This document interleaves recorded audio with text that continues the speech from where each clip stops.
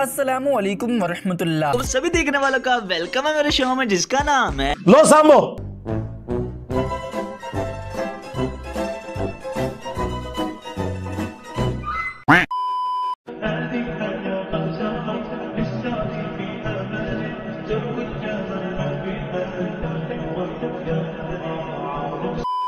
देसी तरीके से ये बताते हैं कि रोजा बच्चे पे फ़र्ज़ कैसे होता है।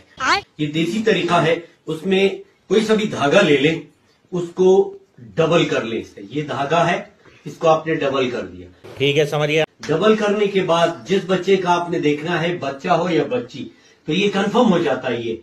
ये आपने वो धागा जो डबल किया हुआ था वो सिरा आप पकड़ेंगे और इसको यू करके इसकी गर्दन के बिल्कुल एग्जैक्टली जहाँ पे ये यहाँ पे आपने फिट करना है। हाँ। ठीक है। बिल्कुल ये बराबर है देखिए यहाँ तक आए फिर ये जगह जो निशान था वो दांतों में पकड़वाए। समझ आई दोनों? हाँ खूब। और जो आपने डबल किया था अगर इस पे रोज़े फ़र्ज़ है तो ये धागा इस पे गुजरेगा। ये देखें। नहीं हुआ।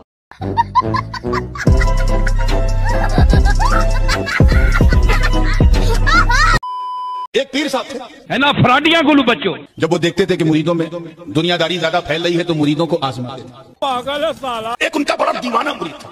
यानी पागल है। हाँ वही पागल रात दिन सुबह शाम उन्हीं के साथ रहता था। चलते फिरते कभी छोड़ता ही नहीं था। एक दिन हज़रत ने सोचा लाओ इसे चलो भाई देखो अब मैं क्या करता हूँ। कहा मेरे मुरीद के जी हुजूर का मुझे शराब पीना है। आदमी की शक्ल अच्छी ना हो ना तो है बातें अच्छी करनी चाहिए। पीर साहब क्या बोल रहे हैं मुझे? I want to drink wine आज के मौलाना साहब इतना पढ़ते हैं कि पता नहीं क्या हो जाता। वो भी मुरीद था। के पूरे जाइए और वो सोशल मीडिया वाला मुरीद नहीं था। ओरिजिनल मुरीद था।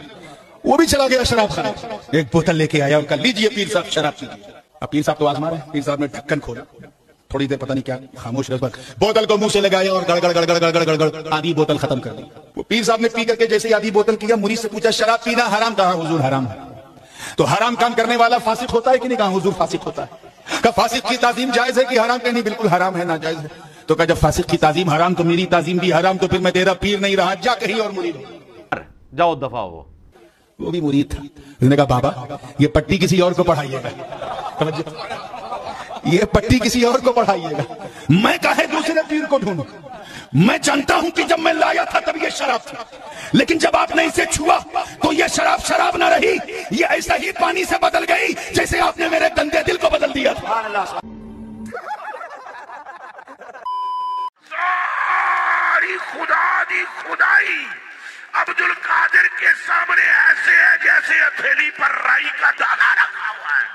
ਪਤਾ ਤੇਰੇ ਐਸੇ ਕੀਦੇ ਕੇ ਉੱਪਰ ਇੱਕ ਜਨਾਨੀ ਦੇ ਘਰ ਪੁੱਤਰ ਨਹੀਂ ਸੀ ਹੁੰਦਾ ਉਹ ਮੀਆਂ ਬੀਬੀ ਦੋਵੇਂ ਸਨ ਕਿ ਮੁਰੀਦ ਹਜ਼ਰਤ ਦੇ ਉਹ ਤੀਆਂ ਹੁੰਦੀਆਂ ਤੀਆਂ ਤੀਆਂ ਤੀਆਂ ਉਹ ਆਇਆ ਜਨਾਬ ਉਹਦਾ ਉਹਨੇ ਘਰ ਕਾਲੇ ਨੂੰ ਆਖਿਆ ਭਜਾ ਗੌਸ ਪਾਕ ਲੋ ਗੌਸ ਪਾਕ ਮੁਸੱਲੇ ਤੇ ਬੈਠੇ ਹੋਏ ਸਨ ਐ ਜੇ ਪੀਰ ਆਖਿਆ ਜਨਾਬ ਬਾਬਾ ਜੀ ਮਿਹਰਬਾਨੀ ਫਰਮਾ ਆਪਨੇ ਫਰਮਾਇਆ ਜਾ ਜਾ ਜਾ ਅੱਲਾਹੁਮਾ ਅਤੀ ਜ਼ੁਕਰਾ ਯਾਲੇ ਨੂੰ ਮੁੰਡਾ ਦੇ ਮੁੰਡਾ ਦੇ ਮੁੰਡਾ ਦੇ ਉਹਨੂੰ ਕਹਿੰਦਾ ਨਸ ਜਾ ਨਸ ਜਾ ਉਹ ਸਾਲ ਬਾਅਦ ਜਨਾਬ ਨੇ ਤੋਲੀਏ ਵਿੱਚ ਕੁੜੀ ਲਪੇਟੀ ਹੋਈ ਲੈ ਕੇ ਉਹ ਸਾਡਾ ਬਾਬਾ ਜੀ ਕਲਾਮੁਨਾ ਅਲਾ ਜ਼ਕਰਨ ਵਹਾਜ਼ਾ ਮੁਨਸ ਹਾਜ਼ੀ ਮੁਹਨਸ ਉਹਨਾਂ ਕਿਹਾ ਤੁਹਾਡੀ ਤੇ ਮੇਰੀ ਗੱਲ ਮੁੰਡੇ ਦੀ ਹੋਈ ਸੀ ਇਹ ਕੁੜੀ तेरी मेरी गल मुंडे दी हुई सी उस आख्या बिल्कुल पर मैं हमको ख्याल नहीं चाहता उस आख्या हजूर मैनू याद है गर्ज मेरी सी आपने फरमाया चल लफे आओ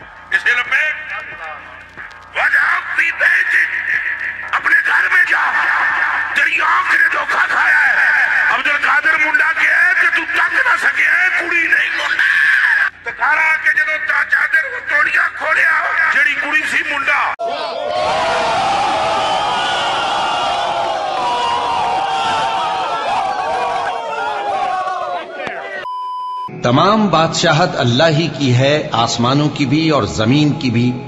वो जो चाहता है पैदा करता है, जिसे चाहता है बेटियाँ अता करता है, और जिसे चाहता है बेटे बख्शता है, या उनको बेटे और बेटियाँ दोनों इनायत फरमाता है, और जिसको चाहता है बे औलाद रखता है। वो तो जानने वाला है, कुदरत वाला है, और किसी आदमी के लिए मुमकिन नहीं कि अल्लाह उससे बात करे। मगर वही के ज़रिए या पर्दे के पीछे से या कोई फरिश्ता भेज दे तो वो अल्लाह के हुक्म से जो अल्लाह चाहे इल्का करे। बेशक वो बुलंद बरतर है हिकमत वाला है। हासान बासरी वर्सेस राबिया बासरी। हसन बसरी ने सुना कि साहब बड़ी एक कोई खातून है उनकी विलायत के चर्चे चलो मिल के आते हैं। हम फ़र्स्ट हम फ़र्स्ट हम फ़र्स्ट गाड़ी चला गाड़ी चला। सरकार सैदुना हसन बसरी आए मिलने के लिए। हज़रत राबिया बकरी चरा रही। सैदुना हसन बसरी आए। आने के बाद क्या देखा कि बकरियाँ चरा अच्छा, इनकी विलायत के चर्चे कहाँ साहब इन्हीं की विलायत के चर्चे। वाह। अच्छा फिर हम भी बताते हैं कि हम हसन बसरी हैं। वाह। उन्होंने पानी पे मुसल्ला बिछाया नमाज़ पढ़ने लगे। राबिया गई थी मेहमान नवाजी करने के लिए दूध पानी लाने के लिए। राबिया पलट के आई पूछा हसन कहाँ गएगा वो देखो पानी पे नमाज़ पढ़ रहे हैं। अबे साले। ओहो पानी पे नमाज़ पढ़ रहे कहाँ? राबिया को भी जोश आया। उन्होंने मुसल्ला उठाया और फेंक दिया। ऊपर आसमान है नीचे ज़मीन है बीच में राबिया का मुसल्ला है। ग्रेविटी कहाँ गई इसमें। उस पर खड़े होकर नमाज़ पढ़ने लगी। हज़रत हसन बसरी जब नमाज़ पढ़ के फारिग हुए तो कहा राबिया कहाँ का हजूर निगाह उठाइए वो देखिए फिजा में नमाज़ पढ़ रही है। अल्लाह अकबर नमाज़ पढ़ के जब फारिग हुई हज़रत हसन बसरी ने कहा इसकी क्या ज़रूरत थी? तो कहा हुजूर फिर पानी पे नमाज़ पढ़ने की क्या ज़रूरत थी? हमने कौन से आपके वकार का इनकार किया था? हमने कौन से आपकी विलायत का इनकार किया था? हमने तो आपकी मेहमान नवाजी की थी। आप पानी पे नहीं पढ़ते तो मैं फिजा में नहीं पढ़ती. ये बाइक देखें इसमें पेट्रोल डाला जा रहा है। अब पेट्रोल में बरकत का रूहानी इलाज। सूरत कौसर सात बार पढ़कर पेट्रोल की टंकी पर दम कर दे। इंशाअल्लाह जल्द पेट्रोल में बरकत होगी। Medina Medina. ट्राई किए बरकत होती है। चलो भाई हमारे इस्ताई भाई बता रहे कि पेट्रोल पर बर, सूर्य कौशल पढ़कर दम करने से बरकत होती है। ये मदनी पुल इनका तजर्बा तीस फ़ीसद बच जाता है खर्चा। तीस फ़ीसद समझो कि तीन सौ रुपए का पेट्रोल की जहाँ ज़रूरत पड़ती थी तो दम करते तो दो सौ रुपए का पेट्रोल से काम चल जाता है। ये मोटा हिसाब समझो इसका इतना फ़ायदा होता है। ये कौन सा लॉजिक है भाई गोस्पात का कॉल है। मुझसे जो मांगोगे वादा करता हूँ अता करूँगा हाय हाय हाय।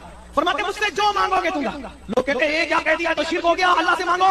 हमने कहा, मुल्ला जी, इससे शिरक नहीं होता यही तो अल्लाह की पहचान है। ये बात इसलिए कहते हैं। अल्लाह दिखाई नहीं देता, अल्लाह सुनाई नहीं देता। अल्लाह समझ में नहीं आता, अल्लाह जबान में नहीं आता, अल्लाह बयान में नहीं आता। जो बयान में आए वो अल्लाह नहीं हो सकता, जो जबान में आए वो अल्लाह नहीं हो सकता। जो तस्वुर में आए वो अल्लाह नहीं हो सकता। जो तहज्जुद में आए वो अल्लाह नहीं हो सकता अल्फाज जिसका इहाता करे वो अल्लाह नहीं हो सकता। ज़मीन आसमान जिसको घेर ले अल्लाह नहीं हो सकता। वो समझ में नहीं आता जबान में नहीं आता बयान में नहीं आता। फिर अल्लाह को कैसे मार उसकी मारिफत हासिल करे? तो कहते हैं ये अब्दुल कादिर जैसे लोग हैं जो अल्लाह की मारिफत अता करते क्यों? कहते जो मांगोगे दूँगा मुद्दा ज़िंदा कर दिया बच्ची अता कर दिए। तो क्या समझ में आया? शिरक नहीं हुआ बल्कि अल्लाह की शान समझ में आई। जब अब्दुल कादिर की शान का ये आलम है तो इसको बनाने वाले कादिर की शान का आलम क्या Wake up to reality. लोगों एक मिसाल बयान की जाती है उसे गौर से सुनो। कि जिन लोगों को तुम अल्लाह के सिवा पुकारते हो, वो एक मक्खी भी नहीं बना सकते, अगर अगरचे उसके लिए सब इकट्ठे हो जाएँ। और अगर मक्खी उनसे कोई चीज़ छीन ले जाए तो उसे, उससे छुड़ा नहीं सकते।